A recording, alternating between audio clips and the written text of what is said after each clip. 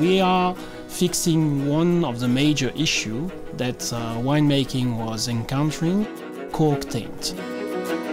We offer a totally purified cork. We also are able to keep wines in bottle for decades and offering so to the winemaker a very strong competitive advantage. Now, purchasing a cork closure is not only purchasing a commodity, it's also purchasing a winemaking solution.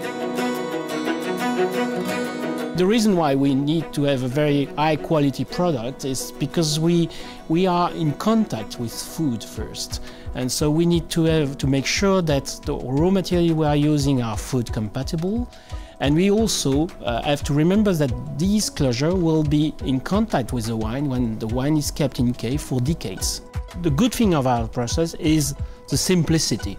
And we tend to say in industry, the simplest, the best and the most reliable. When we developed these type of cork, we were looking for a solution to avoid the wicking of wine inside the cork structure.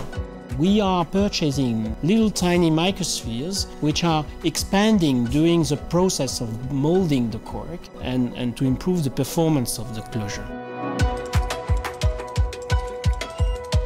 Nouryon products is key for diam closure. Without the microspheres developed with Nouryon, we would not have been able to develop the diam range that we have currently. We really rely on Nouryon for the development of new recipes and microspheres in the future. It's on the development of new recipes, of new raw materials.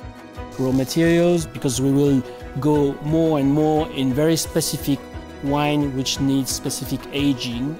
So we will need to probably work on new development with Nouryon to widen the diam range that we are marketing in our business.